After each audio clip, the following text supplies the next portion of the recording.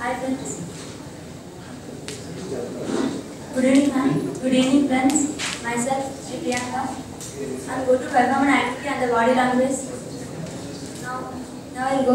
Now I'm going to purchase bangles with my friend. Hi Shanti. Now you come to me. Purchase bangles. No, I'll come to with me. Yeah, please, you come to me. Because your selection is very good. So you come to with me. Okay. Shall we go to?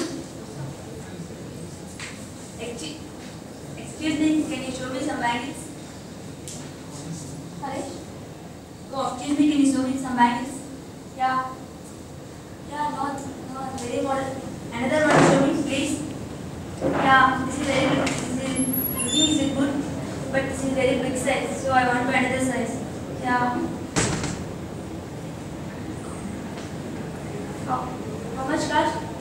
500. No, I want to that much cost. I don't want that much cost. I want to 200 rupees cost.